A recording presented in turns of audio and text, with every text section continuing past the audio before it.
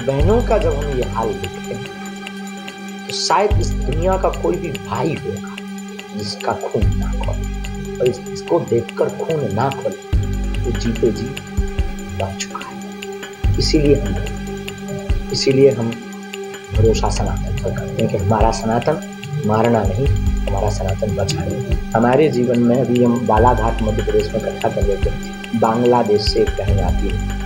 जो मुसलमान धर्म से उसने हमसे कहा कि हम सनातन को स्वीकार करना चाहते हैं। उन्होंने कहा डियर माई सिस्टर मेरी बहन, आपको धर्म नहीं मिलेगा। आप उसी धर्म में रहिए, बस हमारे सनातन को विचार करना